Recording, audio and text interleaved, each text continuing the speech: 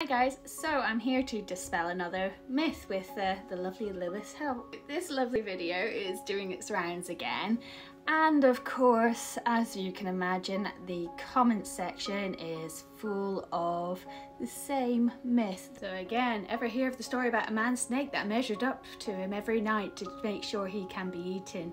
Well, there's going to be another story soon. Another one about how this woman went to a seminar and a doctor told them that a snake had sized someone up to eat them and was starving itself. I've heard this story multiple times, the same story, and everyone knows the same same family. This is the second part of that one. So, uh, yeah, most of the comments were the same story.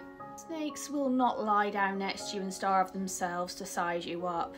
That's not how snakes work. They're opportunistic hunters. And most snakes kept in captivity wouldn't even be able to eat a human. So uh, yes, they might be able to kill someone, but the risk is still the same as a dog. So you would happily let your dog be around a child. It's the same level of risk yeah, just thought I'd come on here and dispel another myth so we can get rid of the stigma that is attached to these absolutely wonderful creatures.